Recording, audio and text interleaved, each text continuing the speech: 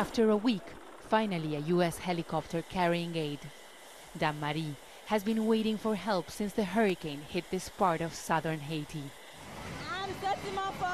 I feel good that some aid is coming. We were desperate. But it was not what everyone expected. Another disappointment in the long wait for water and food. I'm, I'm encouraging the local government to spread the word, and I've just shown them that this is to- toothpaste and toilet paper and soap, nothing edible, um, and that we're still waiting for the appropriate food and water for the town. Dame-Marie's mayor told us his people are desperate, he's angry, and so are many of those living here. The hurricane left this town devastated. It is very difficult for people here. They need a lot of things. We haven't received any aid from the Haitian government or international organizations. I don't know what they are doing.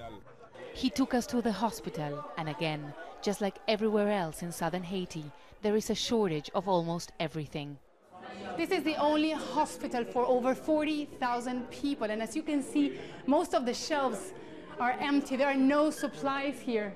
This is crucial for treating cholera, and obviously there's not enough. We met Similien, whose son is suspected of having cholera. The risk of an outbreak are huge. Around 2 a.m., he started vomiting, and I was scared, and I brought him here.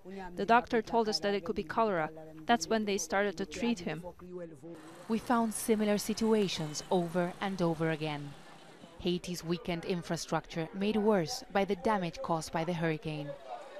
Outside the main towns, people are trying to prepare for the worst. They're picking up what has survived the hurricane. Their crops have been destroyed. The risks of hunger enormous.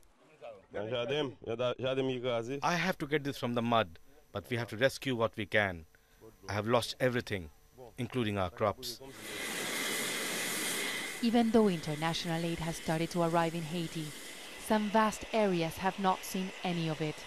No one here wants a repeat of past mistakes. After the earthquake in 2010, critics say aid distribution was filled with corruption and mismanagement. People here wait desperately for help. For some, it never seems to arrive. Teresa Bo, Al Jazeera, Dame-Marie, Haiti.